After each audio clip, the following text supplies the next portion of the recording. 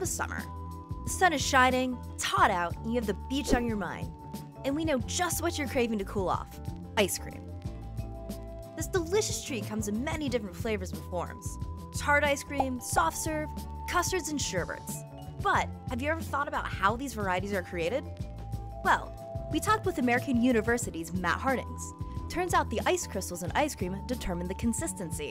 What you're doing when, when you make creamy ice cream is you control the size of ice crystals in your, in your ice cream. So we're gonna start off with this hexagonal shape for a growing ice crystal.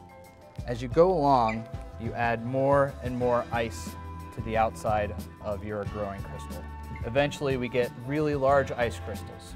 So the bigger the crystal gets, the harder and crunchier your ice cream gets. If you don't want to crunch on your summer treat, you want your ice crystals to be small. But how do you do that? There are two ways. First, put an emulsifier in it. Ice cream is a mixture of water and fats. These two substances naturally want to separate. If they separate, like middle school kids at a dance, the water molecules will hang out by themselves on one side and will be more likely to form large crystals upon freezing due to their interactions. An emulsifier keeps the water molecules and fats mixed together, which keep the water molecules away from each other, allowing for smaller ice crystals to form. The second way to control ice crystal formation is by changing how fast the water freezes. If you, if you freeze your ice crystals very quickly and very rapidly, right, you get lots of little tiny crystals like this. If you let them freeze over a long period of time, you get bigger and bigger crystals at the end. Proof that he's not just all sweet talk, Matt made ice cream three different ways. First, he made ice cream the old-fashioned way, in an ice cream maker. So what this does is there is a heat exchanger in the middle. So we get this really cold in the freezer and, and, this needs to freeze over the course of a day, maybe two days to get all of the liquid inside of this container really cold. And what will happen is this will turn and churn our ice cream uh, as, it, as it freezes it. And this will take about a half an hour. So obviously this is a long time. And so our ice crystals out of, out of this preparation are gonna be a little bit bigger uh, than, than some of our other preparations. Another way to, uh, to cool down our ice cream base is to use salt, uh, salt and, and ice.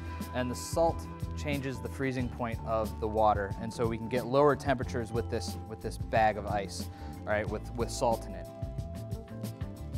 Now we're gonna play with liquid nitrogen. So what we wanna do is pour slowly while we mix it up.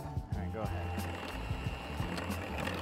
So I'm mixing like I did in the dry ice for two reasons.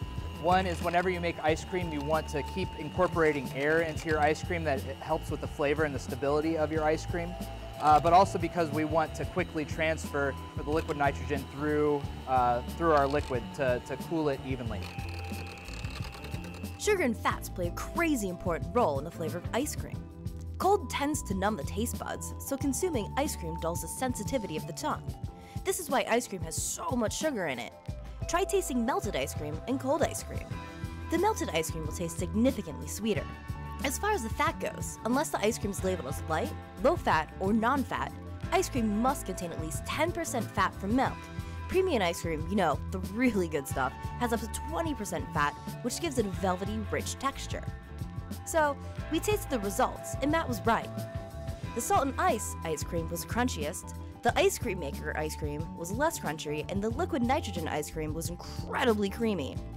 Now, we're not saying you have to buy liquid nitrogen and start blasting your ice cream with it, but at least you now know why your ice cream treat is so silky smooth. Hey, if you like learning cool things like this, make sure to hit that subscribe button.